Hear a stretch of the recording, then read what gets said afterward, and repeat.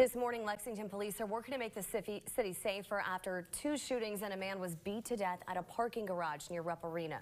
This comes as teams from across Kentucky will travel to Lexington for the KHSAA Girls Sweet 16 basketball tournament. Krista Spadaccini joins us live from downtown Lexington with how law enforcement is ramping up efforts to keep people safe.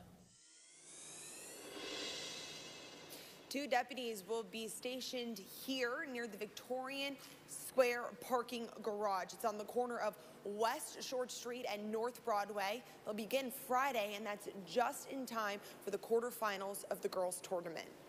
Now, the move comes after one man was killed and another injured in the area. It's the third homicide in or around the garage in the past nine months. Lex Park is paying deputies with money from parking fees. They'll also pay for two deputies to man Tandy Park.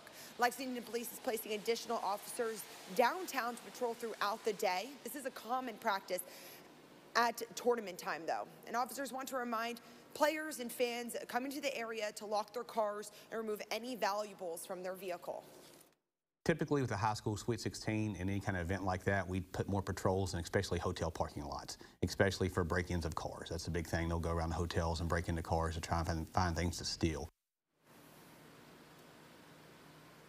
Downtown business owners are jumping into the conversation as well. Since COVID has calmed down, they say they've seen more people shuffling through stores and restaurants.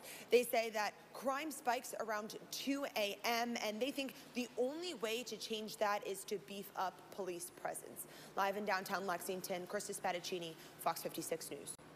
This